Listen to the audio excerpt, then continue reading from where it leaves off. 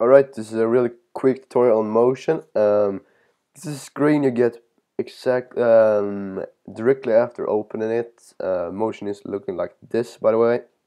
Uh, you can get it for free from various sites. I don't know, but um, we're gonna click open, and it's gonna open, of course. Um, yeah, and here's motion. All right. So first thing we're gonna do is we're gonna go to File, Import. I'm gonna find the screens we recorded earlier. Um, Call of Duty 4, Call of Duty 4 data, mods, COD TV, and screenshots. I'm gonna click the first one, and then go down here and click image sequence. All right. So and then import, and we have it imported here. As you can see, it's only 180 frames but usually a recording can be up to like 5000 frames even higher than that so. It's really big files you're gonna get in the, in, in the end of this so.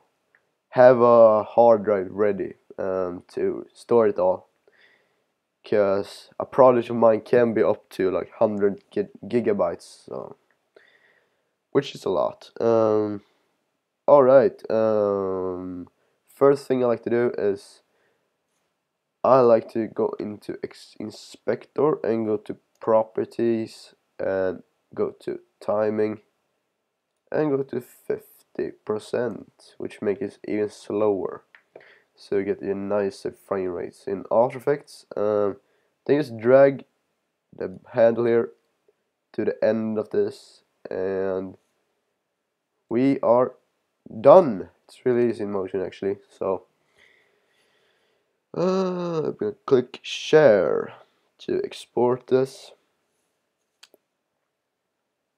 Go to export movie.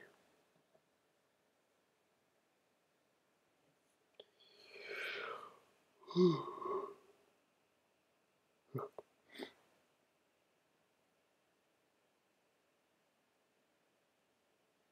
we're gonna go to in and out points on duration unless you have the whole sequence filled with frames.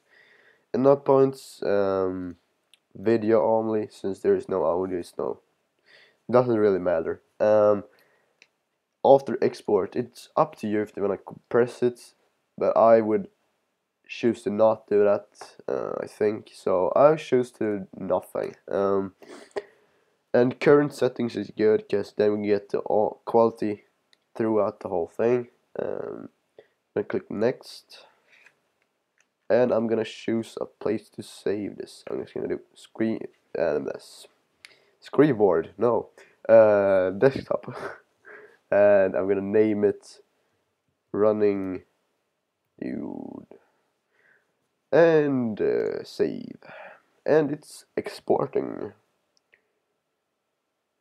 and this will take a couple of seconds I think but yeah, that's pretty much it. And you get in a .mov file, which is pretty usual to Mac users. Um, yeah, as I said, uh, scaling tutorial tomorrow. Probably a new tutorial on uh, Thursday, and Friday, and Saturday, and Sunday. Um, I'll try to keep this uh, channel more active than it used has been the past uh, month or whatever. So yeah, be on the lookout for that, and bye.